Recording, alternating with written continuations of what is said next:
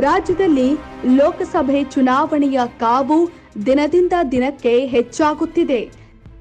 ಈ ನಡುವೆ ಬೇಸಿಗೆಯ ಬಿಸಿಯೂ ಹೆಚ್ಚಾಗುತ್ತಿದ್ದು, ಹನಿ ನೀರಿಗಾಗಿ ಪರಿತಪಿಸುವ ಪರಿಸ್ಥಿತಿ ನಿರ್ಮಾಣವಾಗಿದೆ.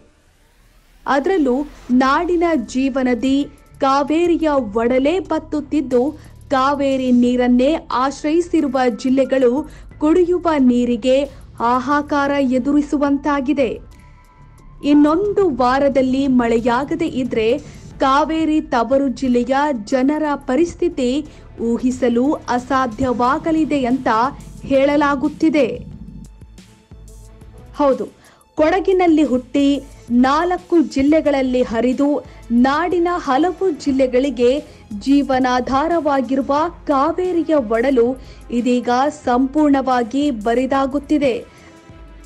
ದಕ್ಷಿಣ ಕಾಶ್ಮೀರ ಎನಿಸಿಕೊಂಡಿದ್ದ ಕೊಡಗಿನಲ್ಲಿ ವರ್ಷದ ನಾಲ್ಕೈದು ತಿಂಗಳು ನಿರಂತರ ಮಳೆ ಸುರಿಯುತ್ತದೆ.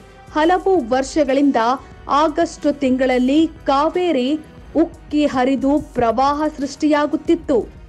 ಬೇಸಿಗೆ ಬಂತಂದ್ರೆ ನೀರು ಕಡಿಮೆಯಾಗೋದು ಕಾಮನ್ ಆಗಿತ್ತು. ಆದ್ರೆ ಈ ಬಾರಿ ಕಳೆದ ಐವತ್ತರಿಂದ ಅರವತ್ತು ವರ್ಷಗಳಲ್ಲೇ ನೋಡಿರದಷ್ಟು ಪ್ರಮಾಣದಲ್ಲಿ ಕಾವೇರಿ ನದಿ ಬತ್ತಿದೆ.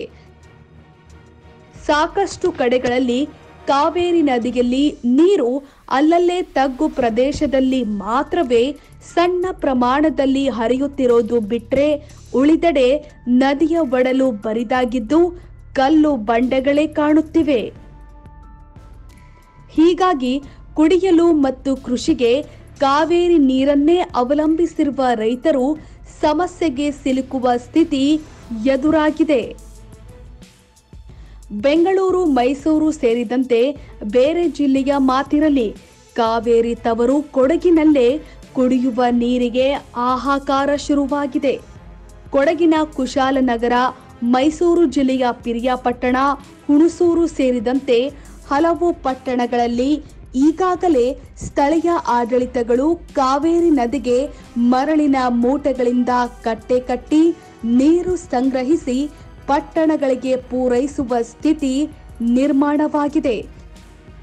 ಸಾಮಾನ್ಯವಾಗಿ ಕಾವೇರಿ ನದಿಯಲ್ಲಿ ನೀರು ಕಡಿಮೆಯಾಗುವುದಾದರೂ ಅದು ಏಪ್ರಿಲ್ ಅಂತ್ಯ ಅಥವಾ ಮೇ ತಿಂಗಳಲ್ಲಿ ಕಡಿಮೆಯಾಗುತ್ತಿತ್ತು.